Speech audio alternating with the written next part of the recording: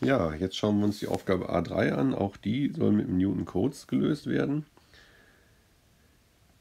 Hier fangen wir auch wieder erstmal für drei Stützstellen an, also für n gleich drei Stützstellen. Rechnen wir erstmal wieder die Streifenbreite, also b minus a durch n minus 1. Das sind hier Pi halbe minus 0 und unten 3 minus 1. Kommt raus Pi Viertel. Mit der Streifenbreite können wir dann die einzelnen Stützstellen bestimmen wieder. Fangen wir mit x1 gleich 0 an. Dann x2 gleich 0 plus Pi Viertel, also Pi Viertel. Und x3 ist dann wieder einfach b, also Pi halbe. Dann rechnen wir die Funktionswerte, also f an der Stelle 0. Also einfach 1 durch Wurzel 1 minus 0,5 mal Sinus von 0 Quadrat. Kommt 1 raus. f an der Stelle Pi Viertel. Also 1 durch Wurzel 1 minus 0,5 mal Sinus Pi Viertel zum Quadrat kommt zweimal Wurzel 3 durch 3 raus.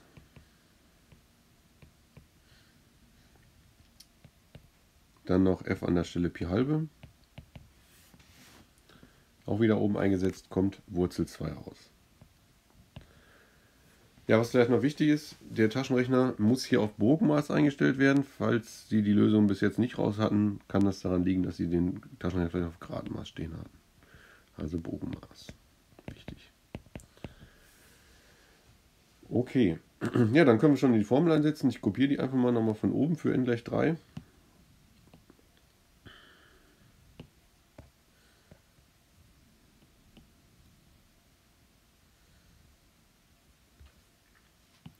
Also haben wir Integral von 0, ne, wir haben ja direkt a gleich, wollen wir das nicht aufschreiben. Also a ist dann ungefähr b minus a, also pi halbe minus 0 durch 6 mal Funktionswert an der Stelle x1 1 plus 4 mal Funktionswert an der Stelle x2 2 mal Wurzel 3 durch 3 plus 1 mal Funktionswert an der Stelle x3 also Wurzel 2 kommt raus 1,8412.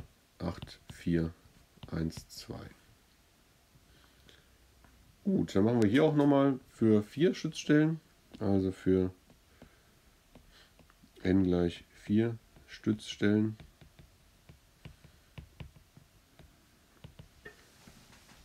Auch Streifenbreite als erstes wieder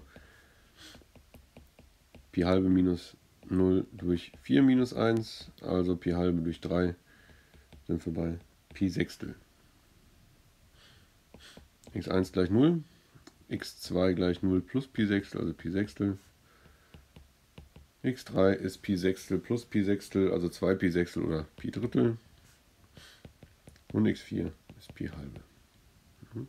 Ist ja gleich b. Okay, dann können wir die Funktionswerte bestimmen. f an der Stelle 0 haben wir oben schon, das ist der Funktionswert 1. f bei Pi Sechstel setzen wir also Pi Sechstel in die Funktion an. Kommt raus 2 mal Wurzel 14 durch 7. f bei Pi Drittel zweimal Wurzel 10 durch 5 und f an der Stelle Pi halbe ist gleich Wurzel 2. Okay. Dann können wir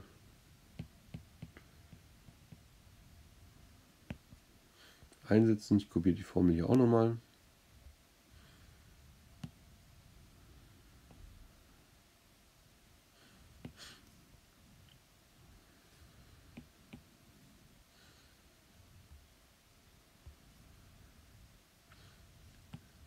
Also hier bei uns a ist ungefähr Pi halbe minus 0 durch 8 mal Funktionswert an der Stelle x1 ist 1 plus 3 mal Funktionswert an der Stelle x2 plus 3 mal Funktionswert anstelle x3 plus einmal Funktionswert anstelle x4. Kommt raus 1,8488.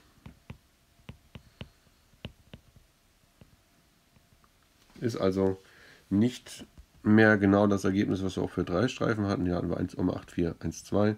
Jetzt mit mehr Streifen können wir davon ausgehen, dass wir eine bessere Lösung bekommen haben. Und die ist hier 1,8488. Vielleicht noch ein anderer Hinweis. Die meisten von Ihnen haben einen Taschenrechner, der bestimmte Integrale lösen kann und unbestimmte Integrale nicht. Woran liegt das? Bei unbestimmten Integralen müssen wir die Stammfunktionen bilden. Bestimmte Integrale können wir immer näherungsweise mit einem Näherungsverfahren lösen. Das heißt, was Ihr Taschenrechner kann, ist mit einem Näherungsverfahren äh, Integralwerte zu berechnen. Ne? Für bestimmte Integrale. Für unbestimmte Integrale geht das nicht. Haben wir auch schon mal eine Theoriefrage gehabt in der Klausur. Mit einem Näherungsverfahren kann man also nur bestimmte Integrale lösen. Die Stammfunktion kann ich mir im Näherungsverfahren